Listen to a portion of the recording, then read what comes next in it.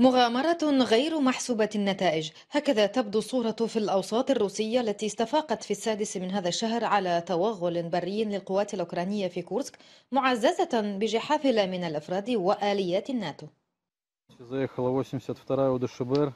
لا تقل عن خطيئة كبرى اقترفتها كييف بالهجوم على الأراضي الروسية ويضيف الروس أنها تجاوزت كل الخطوط الحمر. الغرب الأطلسي ينفي علمه بهذه الخطوة الأوكرانية وهو الغرب نفسه الذي لطالما كرر أن دعمه العسكري هدفه تمكين كييف من الدفاع عن نفسها فإذا بقوتها تقدم على الهجوم.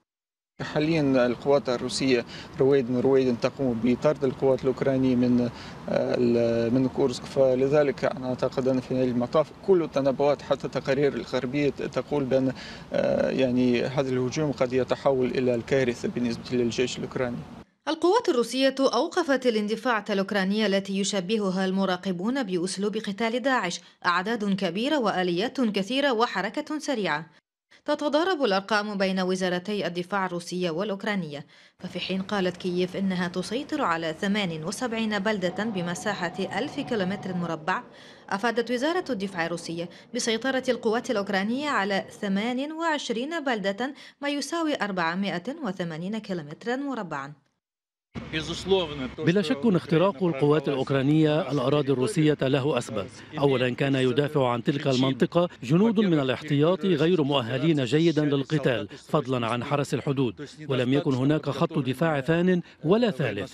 ولم تكن حقول الألغام مغطاة بالمدفعية. وكان هناك عدد من الأخطاء غير المهنية. هجوم كييف حمل عدة أهداف رئيسة.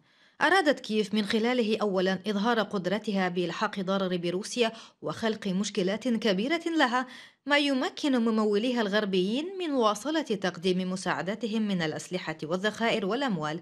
ورفع معنويات الجيش إضافة إلى تعويض خسائر القوات الأوكرانية على الجبهة ومحاولة السيطرة على المواقع الاستراتيجية مثل محطة كورسك النووية لابتزاز روسيا بها ومقايضتها بالأراضي التي تقع تحت سيطرة روسيا لاحقاً.